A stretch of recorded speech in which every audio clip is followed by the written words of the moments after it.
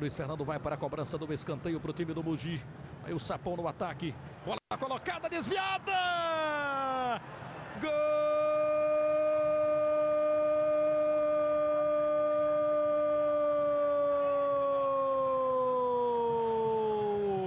Do No cruzamento da grande área, deixarão o artilheiro Matheus Ortigosa sozinho. Ele subiu com estilo empata o jogo aos 18 minutos do Castelão. Ele faz um Mojimirim, um Sampaio Correia.